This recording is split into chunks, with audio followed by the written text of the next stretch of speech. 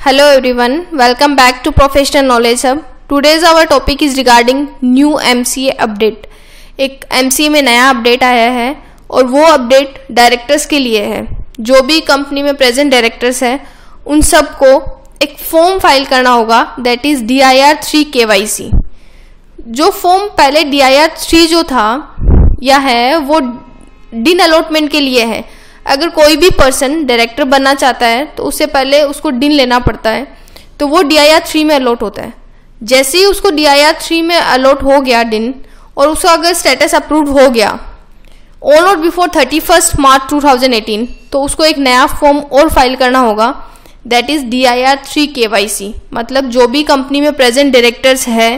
उनको D I R three K Y C form file करना होगा। ये एक नया फॉर्म एम सी ए में आया है। अभी तक ये फॉर्म एम सी ए में अपडेट नहीं हुआ है। ओनली नोटिफिकेशन आया है। जैसे ये फॉर्म एम सी ए में आ जाएगा, हम एक नया वीडियो बनाएँगे, जिसमें आपको बताया जाएगा कि फॉर्म कैसे फिल करना है एंड कैसे इसको अपडेट करना है। इस वीडियो में हम जानेंगे कि ये फॉर्म के लिए क्या क्या रिक्वायरमेंट्स है और कब तक ये फॉर्म जो है डायरेक्टर्स को फ़ाइल करना है। तो let's proceed MCA would be conducting KYC of all the directors of the company annually through a new form that is DIR 3 KYC to be notified and developed shortly. It means जो MCA जो है annually के Y सी conduct कर रहा है जो भी present directors है कंपनी के उनकी और ये जो K Y C D I R three form है अभी तक एम में आया नहीं है it will be updated shortly According, accordingly, every director who has been allotted DIN on or before 31st March 2018 and whose DIN is in approved status would be mandatorily required to file DIR 3 KYC on or before 31st August 2018. जो भी directors है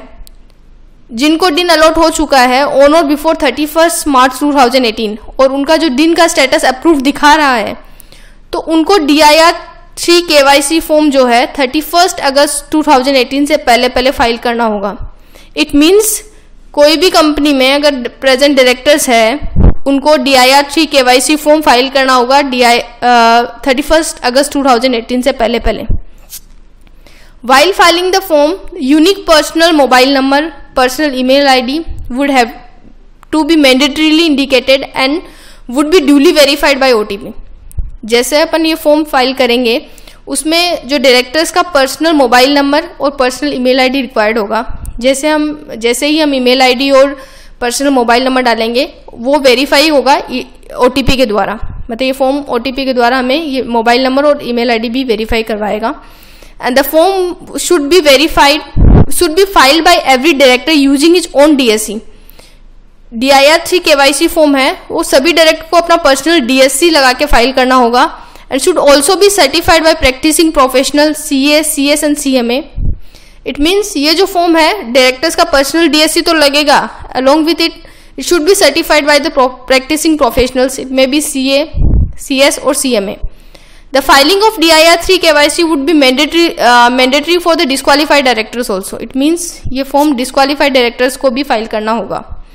After expiry of the due date by which the KYC form is to be filed, MCA 21 system will mark all the approved DIN allotted on or before 31st March 2018 against which the IR3 KYC form has not been filed as deactivated with reason of non-filing DIR3 KYC. It means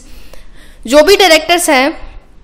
उनको D I R three K Y C on और before thirty first अगस्त two thousand eighteen तक file करना होगा अगर वो नहीं करते हैं इस ड्यू डेट में एमसीए जो है अभी उनका स्टेटस अगर डिन का अप्रूव दिखा रहा है तो उसके अप्रूव स्टेटस को डीएक्टिवेट कर देगा एंड रीजन ये पुट ऑन कर देगा non filing of D I R three K Y C after the due date of filing D I R three K Y C in respect of such deactivated DIN shall be allowed upon the payment of specified fee it means अगर आप after उसको अगर deactivate uh, को अगर activate करवाना चाह रहे हो तो आपको एक स्पेसिफाइड फ़ी देना पड़ेगा एमसीए में, उसको फ़ाइल करने के लिए। अगर आफ्टर थर्टी फ़र्स्ट अगस्त 2018 के बाद अगर आप D I R three K Y C file कर रहे हो तो आपको उसके लिए एक स्पेसिफाइड फ़ी देना पड़ेगा, तभी आप फ़ाइल कर सकते हो। तो इट मीन्स ये अपडेट जो है, सब डायरेक्टर्स के लिए है, जो भी प्रेजेंट डायरेक्टर्स है कंपनी में, उनको D I R three K Y C form file करना पड़ेगा ऑन और बिफोर थर्टी फ़र्स्ट अगस्त टू थाउज़ेंड एटीन अदरवाइज़ उनका जो है डीएक्टिवेट कर दिया जाएगा और वो कोई भी फॉर्म एमसीए में फ़ाइल नहीं कर पाएँगे। लाइक एनुअल फाइलिंग नहीं हो पाएगी और कोई भी फॉर्म फ़ाइल नहीं कर सकते। तो इट्स एडवाइज कि वो अपना ये जो फॉर्म है, जैसे ही एमसीए में अपडेट हो जाता है, जल्दी से जल्दी जो भी डायरेक्टर्स है, सारे अपने फॉर्म्स के सी फॉर्म्स जो डी आई आर थ्री है, उसको अपडेट कर दें। Thank you hope you like it अगर आपको ये भी जानना है कि D I R three K Y C form कैसे फिलअप करना है और अपलोड करना है तो उसके लिए for that subscribe my channel that is professional knowledge thank you